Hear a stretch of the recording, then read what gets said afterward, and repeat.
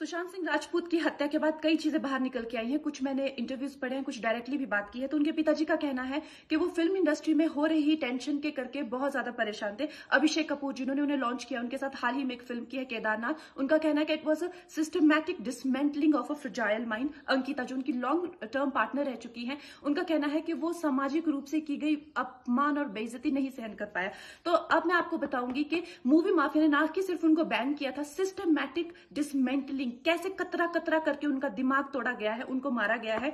तो blind item आप इसलिए लिखते हैं क्योंकि आप जब झूठ लिखना होता है, आप आप को अंगेंस्ट कोई लीगल एक्शन नहीं लिया सकता क्योंकि आपका तो नाम ही नहीं लिखा, मगर उसकी जो डिस्क्रिप्शन होती है, जैसे मेरे बारे में लिखा जाएगा कि जिस लड़की के घुंघराले बाल हैं, जिसको नेशनल अवार्ड मिला हुआ है साइकोटिक है, इस तरह से जो कि मनाली से डिस्क्रिप्शन पूरी दी जाएगी, मगर नाम नहीं लिखा जाएगा। तेईस अगस्त 2017 को बॉलीवुड लाइफ सुशांत के बारे में लिखता है कि वो जब भी सेक्स करता है तो सिर्फ़ अपने ही गाने सुनता है वो सबसे बड़ा नार्सिसिस्ट है।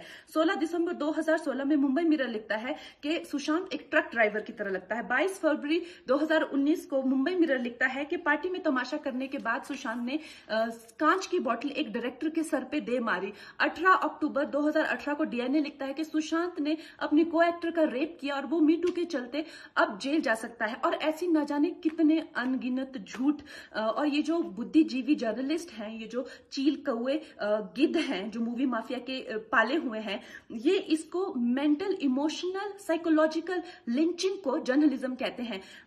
मेरे बारे में आज तक जो भी कहा गया, मैंने कुछ नहीं कहा लेकिन जब एक स्वतंत्रता सेनानी के खिलाफ गंदगी लिखी गई, मैंने उस जर्नलिस्ट को कॉन्फ्रेंट किया। आपको पता है, उसी रात चार सीनियर जर्नलिस्ट ने मेरे खिलाफ एक गिल्ड बनाई।